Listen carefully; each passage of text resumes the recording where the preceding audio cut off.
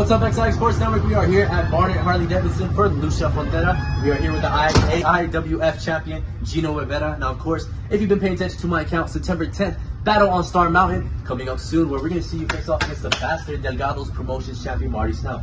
First question I want to ask you, though, is what are your thoughts on Pro Wrestling Legacy? My thoughts on Pro Wrestling Legacy is simple. Each and every single one of those guys, stars, each and every one of those guys, the future of the business, you understand me? Until Gino Rivera steps into that arena, until the Frank Sinatra of the Spanish Mafia steps into that ring, and they all become this little. Because I will crush each and every one of them. Doesn't matter who's in the ring. Pro Wrestling Legacy, you've been put on notice.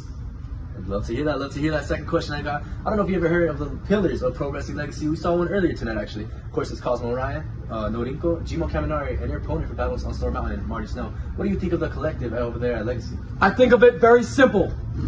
I don't know, I don't think of it. But when I do, all I want to do is kick a pillar down. All I want to do is knock a pillar down because that is what will happen when Gino Rivera gets there. I don't give a damn who's on top, who's in the middle, who's on the bottom. Gino Rivera is going to make a statement. Gino Rivera remains supreme. Gino Rivera is pro wrestling legacy. One last question. Now, I know you follow my account, but if you might not know, you're going against my favorite wrestler in Marty Snow. Now, now what do you think? What do you think of the bastard, the Davos Promotions champion, the leader of Inglorious Bastards, Marty Snell, your opponent? If Marty Snow is your favorite wrestler, you should go play in traffic. If Marty Snow is your favorite wrestler, you should just bury yourself. If Marty Snow is your favorite wrestler, jump in a tub, fill it to the top, and drown yourself. That's what I think of Marty Snow. The guy that's been calling me out all over social media talking about he's gonna kick my head off. Well, guess what? Good luck trying. Because Marty Snow, guess who has a victory over you?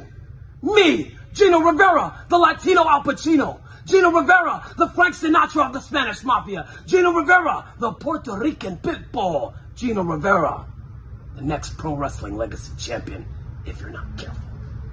I'm gonna make it all the way to the top. I'm gonna make it all the way through the tournament, and I'm gonna be your